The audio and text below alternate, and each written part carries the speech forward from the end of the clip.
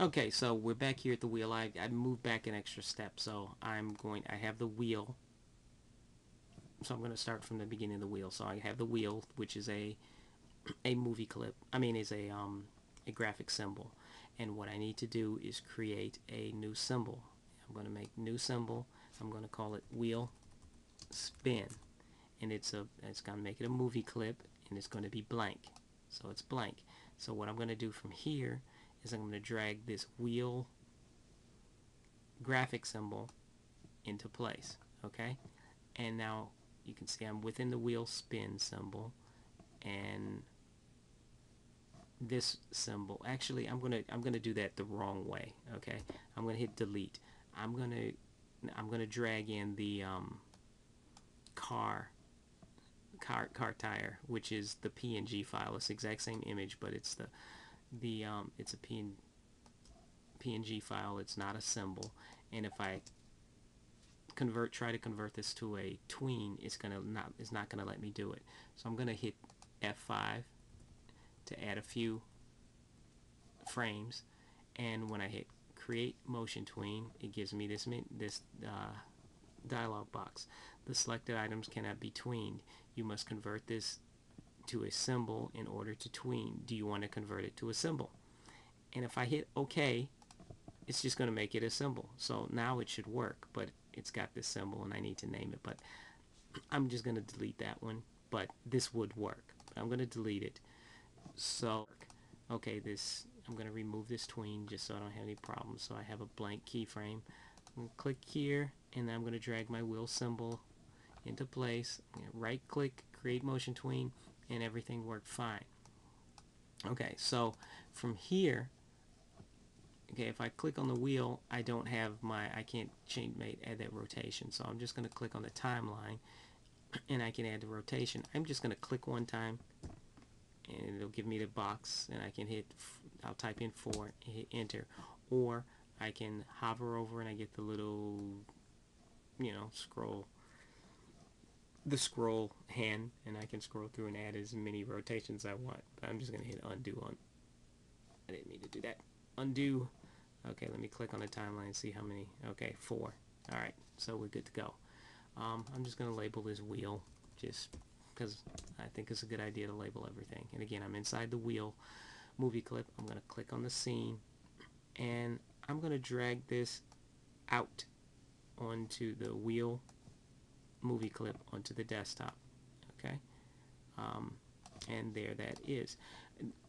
There's a couple of ways I can copy that. I can hit command copy command paste which is command copy uh, command yeah, command C command V to paste it or I can click on the item and I can hold the option key and drag out a new a new piece I mean a duplicate you can see the little arrow there with the little plus sign is telling me that it's going to duplicate it.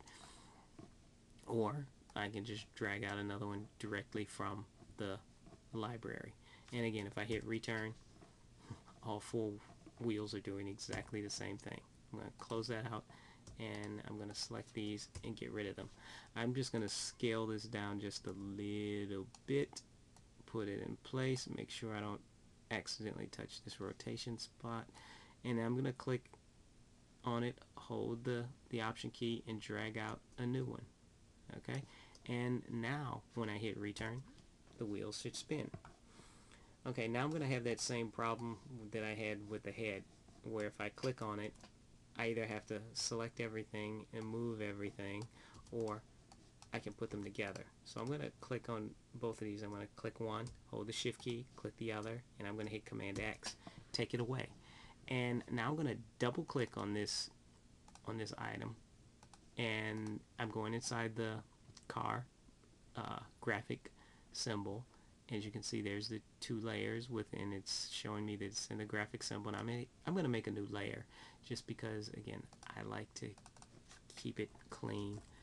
And I'm going to name that wheel. And I'm going to click on that layer. And then I'm to hit command V. Alright so now we're in there and I'm to put them in place. Actually, I'm just going to nudge that over with the arrow tool. And now I'm going to test it out. Okay, wheels are still spinning. Okay, so now I'm going to go back to the desktop, click, and now when I click on it it's one item okay alright so now I want to make this a I need to add some frames to this timeline if I want to animate this so I'm going to click over here at 60 uh, and then I'm going to hit insert timeline frame and it'll just fill in all those spaces. Now I'm going to right click create a motion tween and actually I want this to begin off the screen so I'm going to move it off screen. And right now I'm intentionally making a mistake. Because you see I made this car here I moved the car from here while the while I was this is positioned right here it made a keyframe. So what it's going to do is start off it's going to go backwards. And then if I move this keyframe because I want to move this here I want it across let's see to the end. You can see it's making another properties keyframe. So because I made the mistake of clicking here it's going to go back and then go forward. And that's not what I want it to do. So it's going to go back and then go forward back and then go forward. Again that's not what I want it to do. So I'm going to hit undo undo or I can just I can just